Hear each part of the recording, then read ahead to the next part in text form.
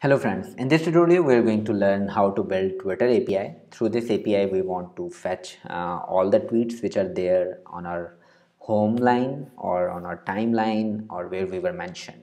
We also want to fetch members under a specific list or we want to uh, fetch all the people who are subscribed to a specific list follow somebody unfollow somebody make certain tweaks to our own profile.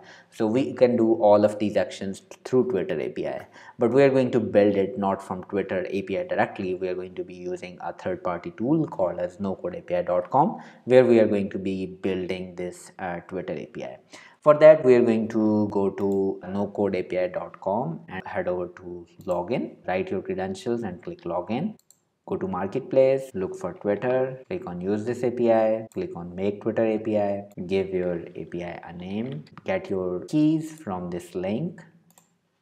You will need to create your own app but it will require authentication from twitter manually so it was going to take some time. I already have uh, an app built so i'm going to get credentials from here. I'm going to go to keys and tokens click regenerate. So copy your api key and paste it over here. Copy your secret key and paste it over here.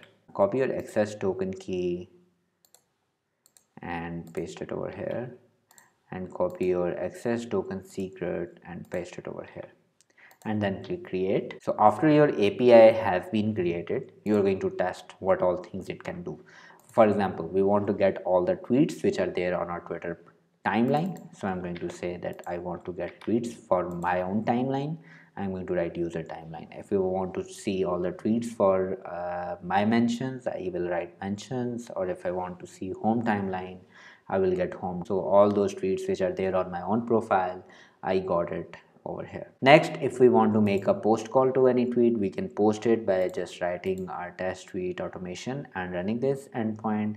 If we want to get all the members who are following me right now i will make a request to get followers endpoint and i will get list of all the people who are currently following me.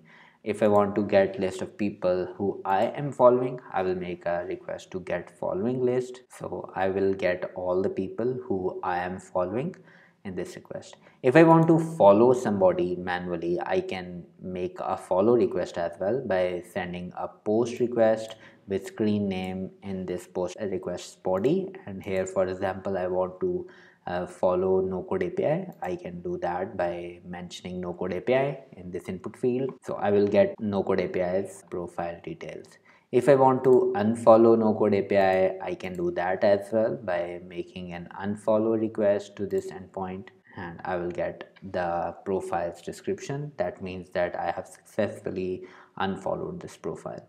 If we uh, want to get list we can do that as well. We can get statuses under a certain list list the members of a list subscribers in a list add or remove members from a list. We can get the trends of a specific place. Like i want to get the trends for the whole world i will have to mention one because the earth id is one.